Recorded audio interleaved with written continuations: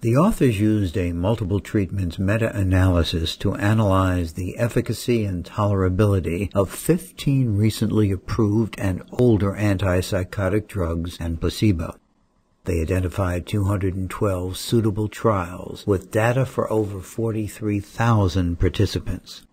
Those drugs represented by a single asterisk significantly separated from placebo those represented by two asterisks significantly separated from placebo and nine of the 11 agents with one asterisk. The exceptions were for paliperidone and zotepine. However, the effect size differences for these two drugs and the others in the group showing significant efficacy compared against the other agents were negligible. The one drug with three asterisks Clozapine had significant separation from placebo and all other antipsychotics.